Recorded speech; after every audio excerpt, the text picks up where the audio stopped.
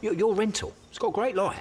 Always like, uh, uh, me mum loves scones. Oh, is that supposed to be me? No, hey, no, it's Dan. Me mum does love scones. Spot on, mate. You would be like, um, Geico could help you save on your renter's insurance. It's so easy. That was amazing. Yeah, uh, yeah. Well, you found a great location. And it's just down the street from me mum's.